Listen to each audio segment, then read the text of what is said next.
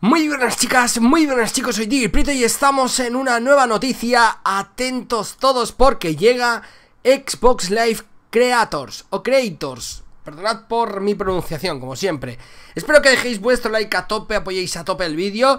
porque atentos, Microsoft ha confirmado hoy a través de la web de Mayor Nelson la llegada de este programa Xbox Live Creators. El lanzamiento de este nuevo programa se anunció a principios de este mismo año, de hecho lo hablamos aquí en el canal. El lanzamiento, eh, pues bueno, eh, está ya disponible a partir de hoy para los usuarios insiders de Xbox que ya pueden acceder a los juegos o aplicaciones para One y Windows 10 que los mismos desarrolladores publicarán a través de un proceso de certificación simplificado. De momento, no solo los usuarios con acceso al anillo alfa del programa Insider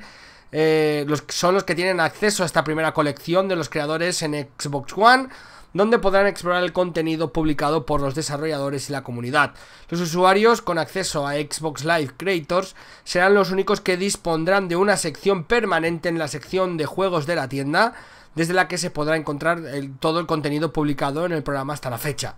De momento, el catálogo no es muy extenso, pero servirá de prueba inicial para promocionar la experiencia con el programa y poder compartir eh, nuevas ideas y valoraciones a través de la página web que la compañía tiene habilitada para ello. Sin duda Microsoft pues sigue cuidando a los desarrolladores indies, aportándoles nuevas vías y nuevas facilidades para que sus juegos puedan llegar a la tienda de Xbox y que sean referencia como en su momento lo fue Xbox Live Arcade para Xbox 360.